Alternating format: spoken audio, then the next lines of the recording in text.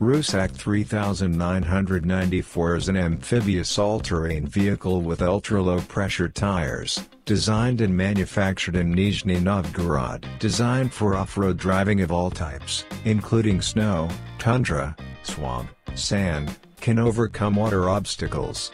The frame of the all-terrain vehicle is a sealed boat frame made of high alloy steel, which does not become brittle at low temperatures and is resistant to corrosion. The lining of the all-terrain vehicle is made of composite materials and aluminum.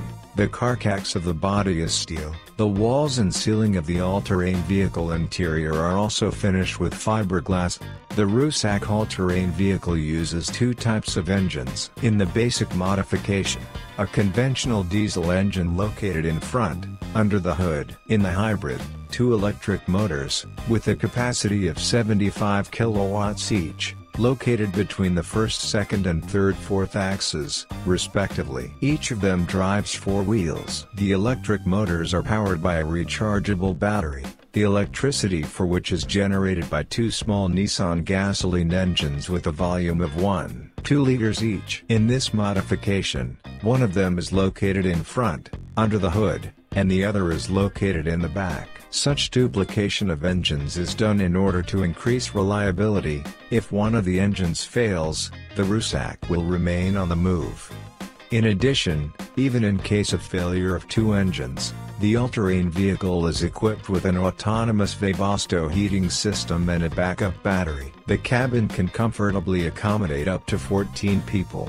Excellent cross-country ability of the all-terrain vehicle on any surface is provided by unique low-pressure tires that were designed specifically for this all-terrain vehicle. The high ground clearance makes it easy to overcome fallen trees, stones, embankments, snowdrifts. Traction is evenly distributed between the eight wheels, so the all-terrain vehicle can safely climb any hill. The wheels of the one and two axles are rotary, and if you can T-drive by land, he will drive by water. The all-terrain vehicle is equipped with water jet propulsion, so even a swamp and water obstacles are not a hindrance to it. The maximum speed on land is 60 km per hour, on water, 10 km per hour, with two water cannons. In addition to the 8-wheel version, 6 and 4-wheel models are also available. All ATVs are assembled manually. The Rusak all-terrain vehicle is a powerful vehicle designed for the far north and heavy off-road terrain.